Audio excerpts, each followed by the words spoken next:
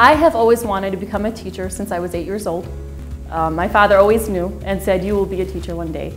Um, I used to tutor um, other kids. I would help the teacher grade papers, and I've always wanted to make a difference. I chose Kendall College because of their great reputation of their early childhood education program and the flexibility of the online coursework. It really gives me that flexibility. It allows me to work during the day and be a parent and spend time with my children. And then at night, I sit down at the computer and I do my coursework.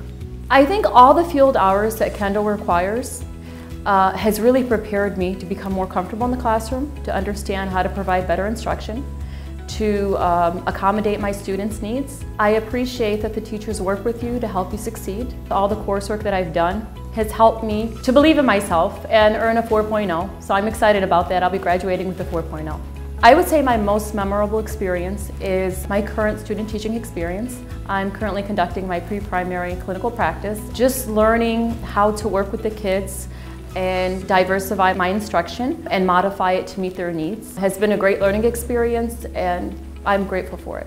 I would like to impact students. I want to instill in them confidence, perseverance, and a positive attitude because I know that with those traits, they can go anywhere.